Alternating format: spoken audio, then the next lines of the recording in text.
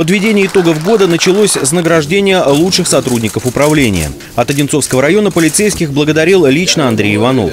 Он отметил, что работа правоохранительных органов была четкой и профессиональной и напомнил, 2016 год обещает быть непростым. Мы вступили в новый политический цикл, и в этом году, 18 сентября, э, нас ожидают выборы депутатов э, Государственной Думы и выборы депутатов Мособлдумы.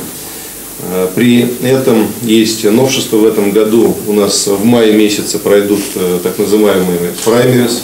Уверен, что вместе с вами э, мы на высоком уровне проведем мероприятия по выявлению и предотвращению террористических и экстремистских угроз в период подготовки проведения выборов. В итоговом докладе начальника Одинцовского управления полиции Алексея Школкина был проанализирован весь комплекс правоохранительной деятельности его подчиненных. От раскрытия тяжких и особо тяжких преступлений до ведения профилактической работы, противодействия наркоугрозе, проявлением терроризма и экстремизма. В 2015 году на территории района полицейскими было зарегистрировано почти 77 тысяч сообщений о происшествиях, больше всех в области.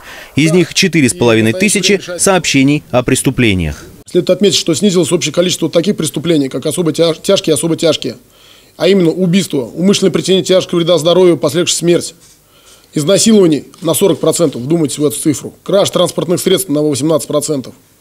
Ну, нельзя не отметить, что есть такие же у нас как бы э, и пробелы в том, что мы допустили рост таких преступлений, как разбои на 8,1%, грабежи на 16%, общее количество вал краж – на 6,5% и кражи из квартир на 37,9%.